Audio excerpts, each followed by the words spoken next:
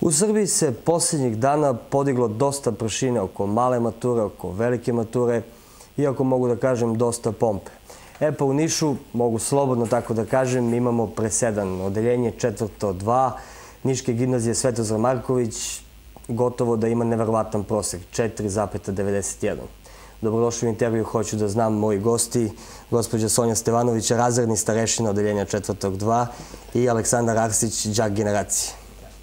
Dobrodošli. A, profesorka, hoću da znam kako je to moguće da od 33 džaka u vašem odeljenju prosek na kraju godine bude 4,91? Znate šta, ako biste sat vremena proveli sa njim u razgovoru, bilo bi vam savršeno jasno kako je to moguće. To su izuzetno pametna, elokventna deca, ambiciozna, ali pozitivno ambiciozna deca. I uz našu malu pomoć ovaj, oni su bez problema ostvarili te rezultate. Vi ste vođa tog celog tima već prethodne četiri godine. Ovaj, kažite mi, koliko je potrebno rada i truda ulaganja u te mlade ljude koji su došli kod vas kao ličnosti koje tek treba da budu formirane? Pa veoma mnogo. I truda, i rada, i pre svega ljubavi prema tom poslu. Ali, ovaj, kad imate dobru decu, to je veoma lako postići. Aleksandre, ti si ujedno i džak generacije. Da, da, džak generacije. Mislim, čast mi je da budem džak generacije tako jednom jakom odeljenju. Pogotovo što je to jedno žensko odeljenje. U odeljenju imamo 28 devojaki, samo nas pet uh, dečaka. Uh, mislim, to je jedno baš jako odeljenje. Još od samog starta razne starešina naš je zahtevao da budemo ne samo tim, već i dream team, da budemo svi zajedno. Jer to je, to je ta, ta neka formula za uspeh. Znači, ako smo svi zajedno, nema nikakve ljubomore, pomažemo jedni drugima, uspeh ne može da izostane. Od prve godine uvek, smo, uvek smo bili odlični, znači prosjek je uvek bio iznad 4,5, ali nije, nije, nisu uvek bili svi odlični, znači imali su i vrlo, i vrlo dobri, ali na kraju se ispostavilo da taj dream team je mogao to sve da prevaziđe i na kraju u četvrtoj godini kada smo maturanti, da imamo i prosek od 4,91 i da od 33 učenika budu 33 odlično. E, rekao si malo pre tim. E, šta to znači biti tim u ovo vreme? U ovo današnje vreme e, biti tim znači da svi budu zajedno, znači da budu svi složni da koji god problem nađe da ne bude sad tu raz, različitih mišljenja, mislim to su različita mišljenja, ali u, u, neka svrha tih različitih mišljenja jeste da svi pomognemo tom koji, se nalazi u nekom problemu. E, trudili smo se da sve to prevaziđemo, sve probleme koji su nas zadesili, a bilo ih je, mogu da kažem, dosta jer je gimnazija dosta jaka. E, još od prve godine profesor, taj ceo kolektiv profesora nam je dao vrlo jaku osnovu. Morali smo da budemo pripremljeni za svaki čas, da sve znamo i to, se na, to je na kraju rezultiralo ovo što, što je danas. Dakle, nema onog kampanjskog učenja. E, profesorka, kažite mi, šta vama kažu drugi profesori? Su pomalo ljubomorni na, na vas i na vaše odeljenje? Ne, ne, ne, vam posla. E, znate kako, da bi oni funkcionisali kao tim, e, potrebno im dati primer, a naša škola je upravo primer za to.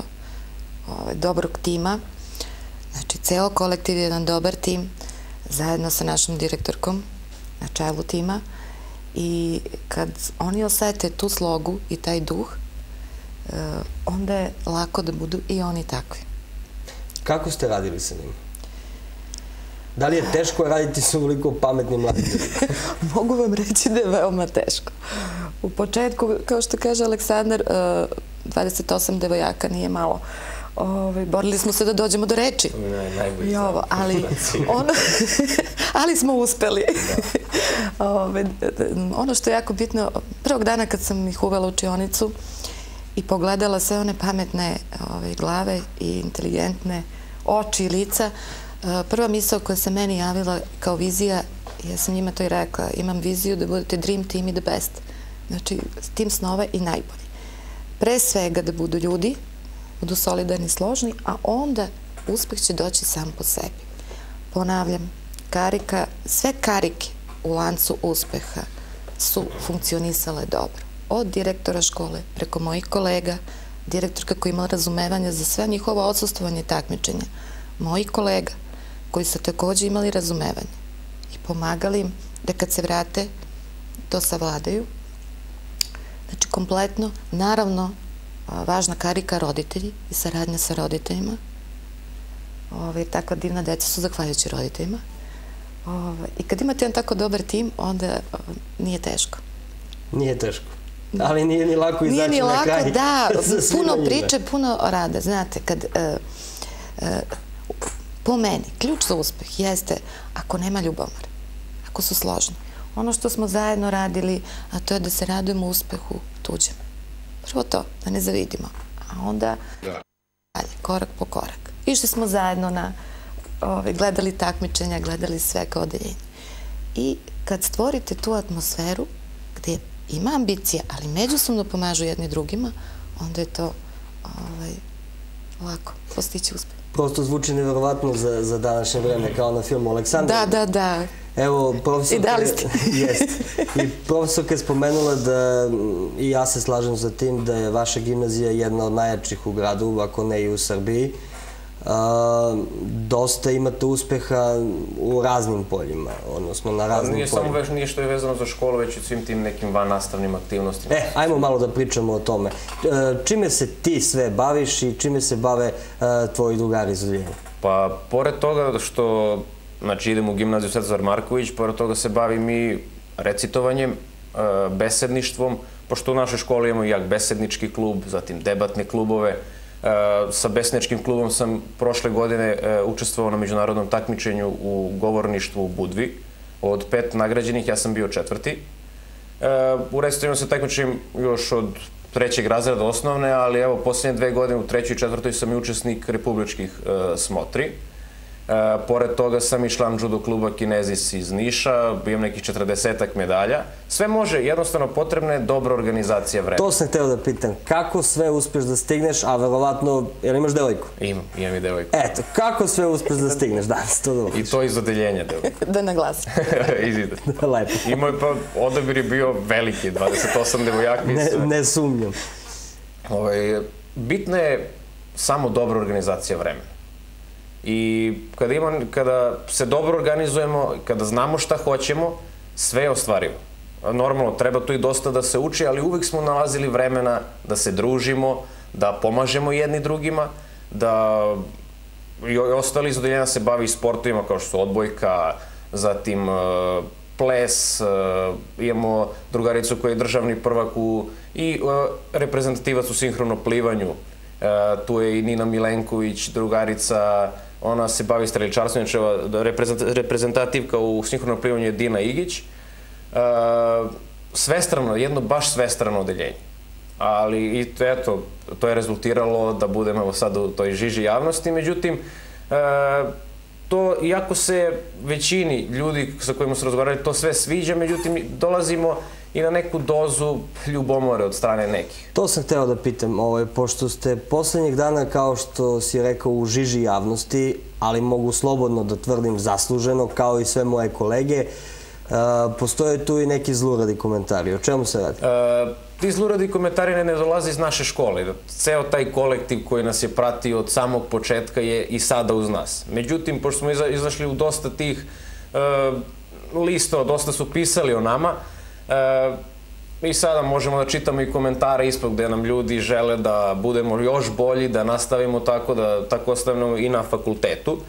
Ali problem u tome što postoje neki koji govore da su to loši kriterijumi, da način ocenjivanja se srozao, da to više, da se ne zna kao za neku meru kako treba da budu uh, đaci ocenjivani, ali na sve to, ako naša škola ima loš kriterijum, onda i ceo svet, i cela Evropa, i ceo Balkan ima loš kriterijum, jer E, naši takmičari, samo dva, ta dva specijalna odeljenja iz matematike i fizike svake godine uzimaju medalje na svetskim olimpijadama iz informatike, fizike, matematike, ali i pored tih odeljenja, prirodno-matematički i jezički smer, društveno-jezički smer, e, ja se takmičim, kao što sam rekao, u besedništvu, u recitovanju, tu su moji drugari iz odeljenja koji su predstavljali našu školu i naš grad na e, takmičenju učeničkih kompanija, e, osvojili su prvu nagradu i predstavljaće našu zemlju na takmičenju u Talinu, u Estoniji.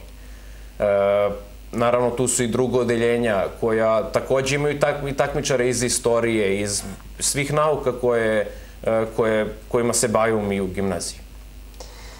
Profesorka, pričali smo malo pre o festivalu nauke. Tu imate isto velike uspehe, trudite se godinama unazad. Da, već šest godina unazad naša škola organizuje festival nauk, e, nije bauk. I moram da kažem, u početku smo bili veliki entuzijasti i krenuli onako skromno. Na kraju je to preraslo na ogromno interesovanje, entuzijazam ne samo našeg kolektiva, naše dece, nego mislim da je to prihvatio čitav grad, čak i dalje ovaj, puno gostiju sa strane i Srbije i Srbije, zemalja iz okruženja. Van zemlje. Koliko se sećam, to je najposećeniji festival, festival. bio ove godine, ali tako? Tako je, tako je. Upravo Aleksandre Cifra koja je bila posećena negde oko 20. E, mislim da je bilo negde preko 20.000 ljudi ove godine. Impozantna cifra, zaista. Ja. Pogotovo kada je reč o, o, o nauci kada svi u današnje vreme mislimo jao kako ćemo da opstanemo finansijski, ekonomski, ipak ima uh, budućnost ima za nade za nauku, da i treba promovisati. Zato što je to nauka približila, pri, svim uzrastima je približena. Sve se to kroz igru, neke, neke eksperimenti, neka popunjavanje nekih testova, zatim uh, animiranja od onih najmlađih pa do najstarijih, mislim, lepo je doći i videti taj festival. Posle Beogradskog festivala nauke, koji se organizuje uh, uglavnom de, novembar, decembar mesec, ovo je najveći festival koji uh, se nalazi na prostoru uh, ovog dela Srbije. Naravno, i ja sam bio lično tamo i zaista neverovatno i koliko je, poseć, koliko je posećenost i koliko mladih ljudi žele da se zapravo bave naukom. Sonja, mislim da je pitanje suvišno, pored svih ovih rezultata koje smo nabrojali, ali eto, zbog gledalaca, i zbog auditorijuma moram da pitam, kroz sve ove četiri godine, da li je bilo nekad urgencija za ocene, protekcija, pritisaka, roditelja, učenika? Ja moram da ponovim, ako provedete samo sat vremena sa ovom decom i razgovarate sa njima, ovaj, shvatit ćete da im to nije potrebno. Slažem se sa vama. Kao što sam rekao, pitanje je suvišno, ali eto, nekako sam morao da pitam. Um, rastajete se kao što piše na njihovim majicama, a možda i ne. Rastemo se, ali možda i ne. Ove, rastemo se, da, oni idu svojim putem, ali verujem da ćemo mi nastaviti. Prvo oni će nastaviti da se druže, a naravno i ja sa njima. Da li očekujete možda ovako neverovatno odeljenje i za iduću generaciju? Lično, ja bih volao da naša škola dobije opet ovaj, tako dobre ćake. Vidjet ćemo. Držimo palčine. Palčeve. Aleksandre, koji su ti planovi? Posle gimnazije, evo, bliži se i upis, uh, upisat ću fakultet uh, prava ovde u Nišu. Uh, kasnije vidjet ćemo, pokušat ću da imam što veći prosek, da se trudim da opravdam ovo što sam džak generacije, što dolazim iz tako jedne jake gimnazije i da ako imam baš veliki prosek i da ostanem na fakultetu kao asistenta, kasniji profesor, ali Naravno, ako se to ne desi, ići ću što više mogu da budem sudija uh, ili na kraju krajeva da budem i advokat. Cura? Je li ona ide s tobom na pravi? I ona, da, da. I ona se opredelila za pravni fakultet, tako da ću da imam, imat ćemo uzemnu pomoć oko učenja, skupljanja svih tih skripti i ostalih stvari zaista lepo. Je li ti žao što se rasteš sa druga, od drugara, e, od Pa naravno, jer ovo je jedan deo mladosti koji više ne možemo da, da vratimo, ne možemo da se vratimo nazad, jer to je, to je neko najlepše doba kada smo svi zajedno, jer sad je fakultet, ima 300 studenta, ja sad njih 300 neću moći da se družim i da znam njih sve. Dok ovde svi smo, znali smo kako ko diše, kako ko uh, razmišlja.